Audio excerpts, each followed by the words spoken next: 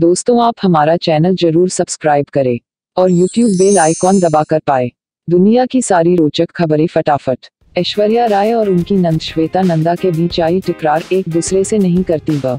तब महानायक अमिताभ बच्चन के बेटे अभिषेक ने विश्व सुंदरी ऐश्वर्या राय से साल 2007 में शादी रचाई थी।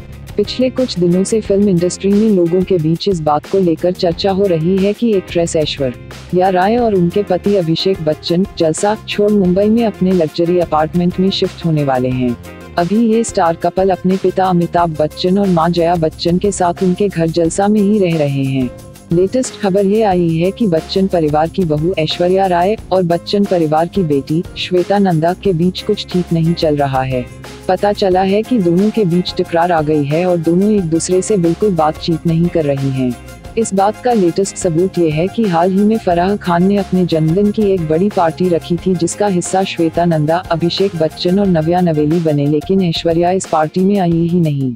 इसके अलावा हाल ही में दोनों को विराट अनुष्का के मुंबई में रखे गए रिसेप्शन पर भी एक दूसरे को पूरी तरह से इग्नोर करते हुए देखा गया और दोनों को ही काफ़ी अजीब चेहरे बनाते देखा गया एक दूसरे के आसपास।